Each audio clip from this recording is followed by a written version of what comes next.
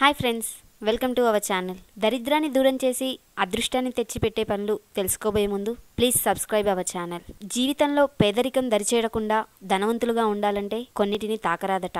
ఎంత కష్టపడి పని చేసినా వృత్తి సంపద వివాహం ఆరోగ్యం ఇల్లు ఆస్తి సంబంధ విషయాల్లో జాతకాలు కూడా కొంత ప్రభావం చూపుతాయి. నారద పురాణ ప్రకారం నిర్లక్ష్యం అవగాహన రాహిత్యంతో చేసిన తప్పుల వల్ల ఘోరమైన ఫలితాలు వెల్లడవుతాయి. అయితే దీని కారణాలు మాత్రం వివరించలేదట. నారద పురాణ ప్రకారం ఈ ఎనిమిది తప్పులను చేయడం వల్ల మీరు ఎంత కష్టపడ్డా దురదృష్టం వెంటాడుతూనే ఉంటుంది. కాబట్టి ఈ క్రింద చెప్పిన విషయాలను గుర్తుంచుకొని వాటికి దూరంగా ఉంటూ తగిన జాగ్రత్తలు తీసుకోవడం మంచిది. మరణించిన వారిని శ్మశానంలో దహన సంస్కారాలు చేసిన తర్వాత లేదా మరెప్పుడైనా మరణించిన వారి ఎముకలను తాకితే దురదృష్టం వెంటాడుతుంది. అంతేకాదు అనుకూలమైన శక్తులు వెంటాడి అపారమైన నష్టం కలిగిస్తాయట. ఏదైనా ముఖ్యమైన ప్రత్యేకమైన పండుగ సందర్భాల్లో కుక్క మిమ్మల్ని తాకినా మీరు కుక్కను ముట్టుకున్నా అపశకునమట. దీనివల్ల జీవితంలో పేదరికాన్ని అనుభవిస్తారని నారద పురాణం పేర్కొంది. నారద పురాణంలోని మరో ముఖ్యమైన విషయం శ్మశానంలో దహన సంస్కారం చేసేటప్పుడు వచ్చే పొగ పీల్చితే పేదరికం దురదృష్టాన్ని ఆహ్వానించినట్లేనట. అంతేకాదండి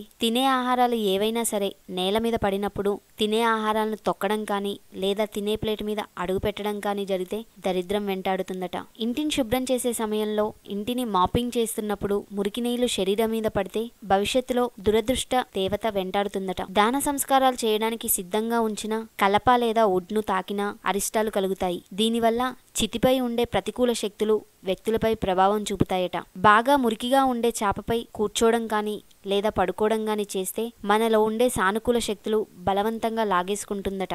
శవాన్ని ముట్టుకున్నా లేదా శవాన్ని చూసి వచ్చిన తర్వాత గంగాజలంతో స్నానం చేయాలట. లేకపోతే అంతులేని పేదరికం వెంటాడుతుందట. ఇదండి ఫ్రెండ్స్ మన అదృష్టాన్ని దూరం చేసే దరిద్రాన్ని తెచ్చిపెట్టే పనులు. దరిద్రం మన దరి చేరకుండా ఉండాలంటే ఈ పనులకు వీలైనంతగా దూరంగా ఉండండి. Thanks for watching. Please subscribe our channel ఈ విషయాన్ని మీ ఫ్రెండ్స్ అందరికీ షేర్ చేయండి లైక్ చేయండి. మీ విలువైన సమాచారాన్ని కామెంట్ బాక్స్లో కామెంట్ రూపంలో రాయగలరు. Thank you for watching bye bye